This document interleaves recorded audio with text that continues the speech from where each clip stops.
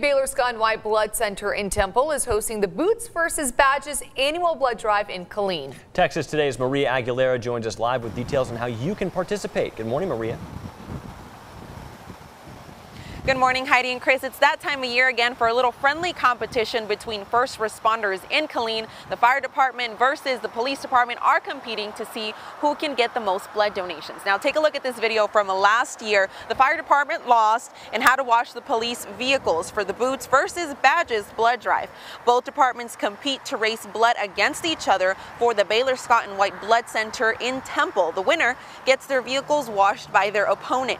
And right now, Baylor Scott and White is in urgent need of types O, A, and B blood. Now, if you'd like to donate, that blood drive is taking place from 9 a.m. to 3 p.m. at the Killeen Community Center. But for now, reporting live outside Baylor Scott and White in Temple, Maria Aguilera. Back to you, Heidi and Chris.